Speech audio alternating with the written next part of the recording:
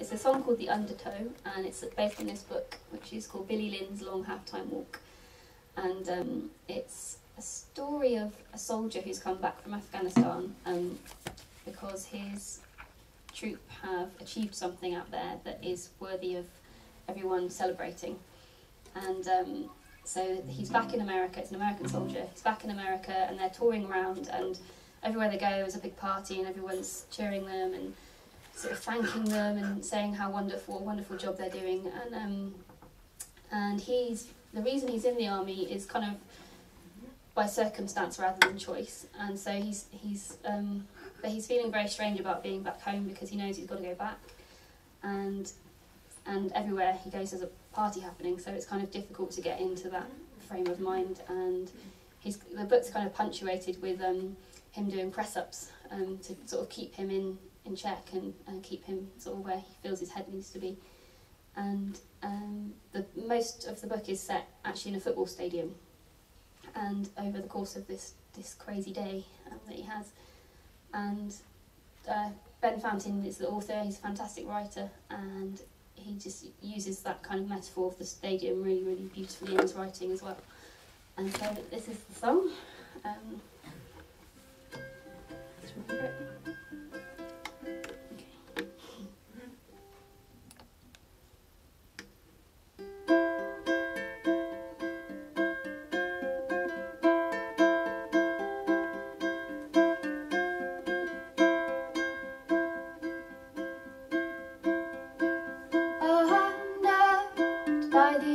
immensities of life and the pull of the empty hollow. A stadium of space creates a strong undertow as he stands beneath the soulless sky. Stay sharp, stay sharp and stay alive. Sharp and stay alive.